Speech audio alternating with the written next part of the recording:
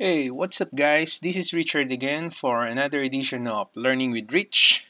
It's been a long time since I uh, created my last video and I'm very glad that I'm back doing again this kind of exercise. Alright, so in this exercise, I'm going to teach you how to add 2D annotations to a detail view. Okay, so I'm going to teach you how to use the 2D tools in Revit structure. Okay, so in this exercise, I'm going to add uh, 2D annotations to my detail view. Okay, it happens most of the time because uh, even though we can easily create section in Revit, okay, so there are instances that the details are not enough for us to show what we really want uh, to show to our client. That's why we are adding uh, details. So in order for us to do that, so instead of doing the model very detailed, the 3D model, so we just use a 2D annotation, okay, which is uh, pretty useful. So we will be using the tools that we will be getting from the annotate tab, all right? So let's get started. So in this view, what I'm going to do is I'm going to create a detail line. Okay, so this is the detail line. Okay, so you can also type DL. So as you can see, the definition, it creates a uh, it creates a view specific lines. So detail lines are visible only in the view in which they are drawn. Okay, so detail line is different uh, from model line. Because model line you can also see that in 3D view. Okay? But if you only want to create a line for your detailing that will appear only in the view where you have drawn it so you can use detail line. Alright? So I'm gonna select the detail line here and then from the line style so I'm going to change the line style to hidden lines. Okay? So I select the hidden lines and then I'm just make sure that the chain here is unchecked. Alright, so I'm going to add an offset distance here of 6 mm. Okay, so I'll start creating here. So I'm going to click this one. Okay, so just above this tick line, floor represented by this uh, tick line. So I'm going to pick here. There you go. Okay? Then I'm going to create here also. So these lines uh, that I'm creating it represents the hidden faces in the metal deck uh, layer of the floor. Okay? So that's the reason why I'm creating these two lines here. So that's the representation. It's uh, hidden faces in the metal deck of the floor. Okay? There you go so after that, the next thing that I'm going to do is I'm going to sketch a steel plate. Okay, so let's say I want to represent my uh, steel plate in 2D drawing. Okay, so what I'm going to do is uh, from the I select modify to terminate the tool. Okay, so going to the modify, there is this uh, panel here, the view panel. So you can see here line work. So I'm going to select the line work here to modify the line style uh, representing the edge of the steel beam. Okay so where's that? So let me just change first the style here. So let's say I'm gonna select here hidden. So this is the hidden. Alright so I'm going to change this one. So I'm gonna click this. There you go. And I'm going to click this also. There you go. Okay so let's say for example it represents the edge of the steel beam okay? Now after that what I'm going to do next is I'm going to activate again my detail line. So I select the detail line here. Okay? And this time I'm going to create the rectangle. I'm going to use the rectangle tool. Okay? To draw the connection plate. Okay and for this one I'll just use uh, thin lines alright? So I'm gonna pick the thin lines okay? And then I'm going to click the the midpoint here this one. So I'm going to click this right? And then I'm going to move my pointer to the uh, lower right. So I'm gonna select I'm just going to make sure that the wide here is 125 okay 125 and then the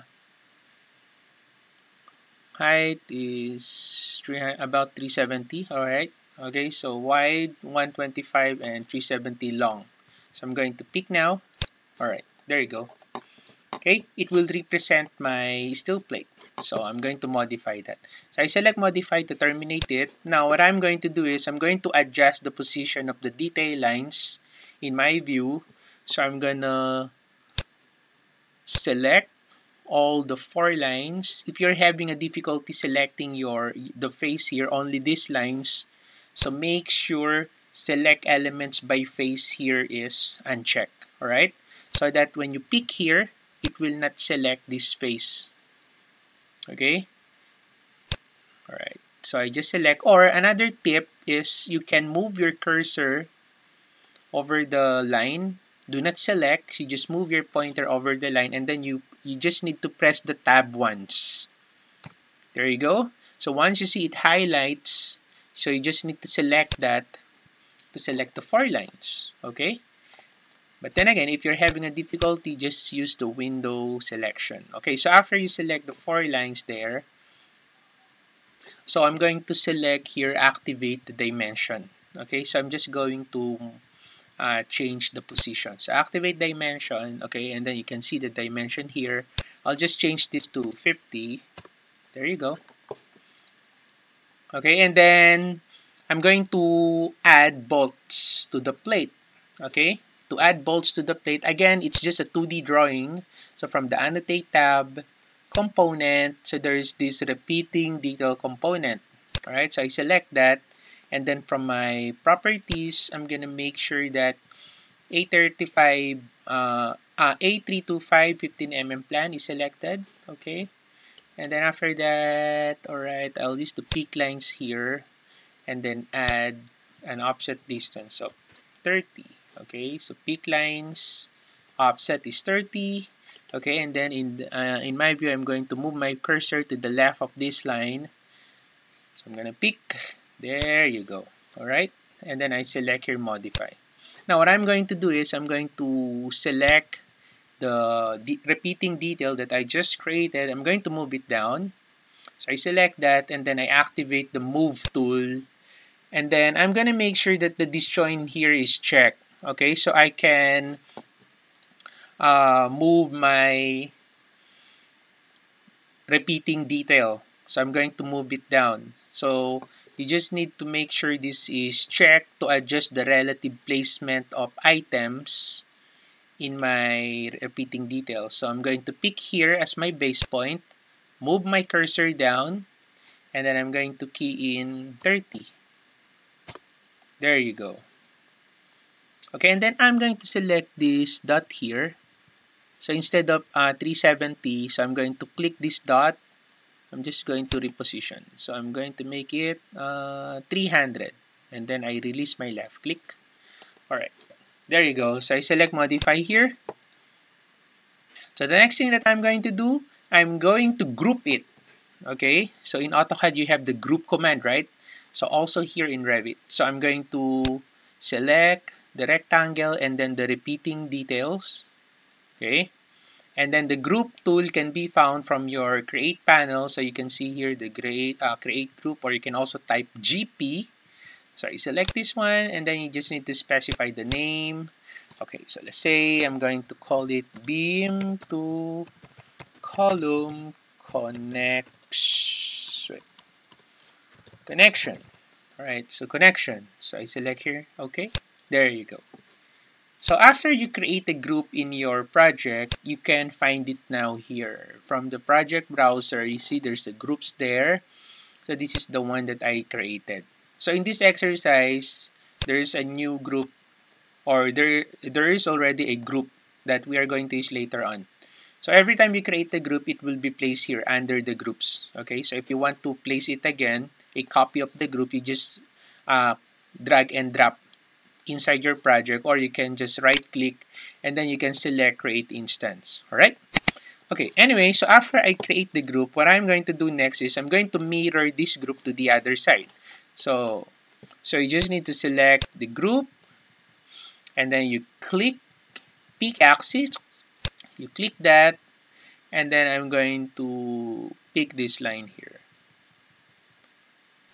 There you go. All right then select modify. There you go. And then the next thing that I'm going to do is um, I'm going to add bolts. Okay? So I'm going to add bolts in my project. Okay so to do that so from the project browser so I'm going to use this plate and five bolts in section. So I just right click this and then I select create instance. So I click this. Okay and then I'm going to click this one. Remember the first line that you created so I'm going to pick the midpoint of that to place my bolt so I click. There you go. Okay very nice. So that's my bolt. So I select now modify to terminate it. See? So little by uh, little by little we are adding details to our uh, somewhat dull section. Now it's already detailed okay so after we add uh, detail components from the annotate tab. So the next thing that I'm going to do so let's say I want to add a weld symbol.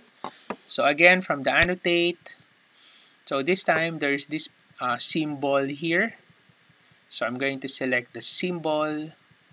I click this one. Okay again from the properties. So I'm going to make sure that both is selected. Okay weld symbol both okay so where am I going to put that? So I'm just going to put it here the weld symbol. There you go and then I select modify. Okay so the exact placement is not critical. Now I'm going to select the weld symbol and then I'm going to add a leader line. So I select that and then from the leader panel so there's the add leader tool. So I'm gonna click this. There you go okay and then I'm going to drag this. So I'm gonna place it here. Okay. And then I'm just going to change the I'm going to modify the properties here. Okay so from the text where's my text?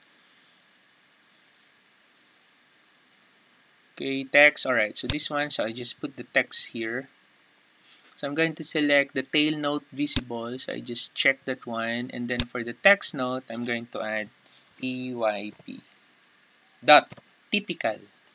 Okay. And then apply. There you go. See?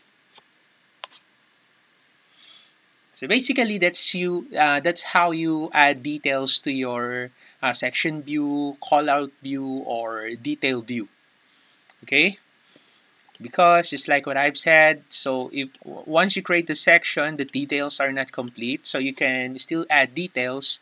This time you can add 2D drawings okay? So you can go to the annotate tab and then from here you'll be able to use uh, some of the tools that is very useful for you to add details in your project okay? Alright so that's for this uh, today's exercise. So hope you enjoyed the video so if you have any questions, comments, or suggestions, you can just put it on the comment section below and I'll get back to you as soon as I can. And you can also download the exercise file of this um, exercise. I'm going to include that to the video description. Okay? And once again, this is Richard from Learning with Rich. Have a good day.